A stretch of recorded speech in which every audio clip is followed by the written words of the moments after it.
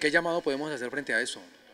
Pues realmente que estamos ante un, eh, un ataque a un eh, medio público de comunicación como es un canal regional, que eh, somos un canal que trabaja para visibilizar la comunidad de nuestra región Pacífico, no tenemos ánimo de lucro, ese es un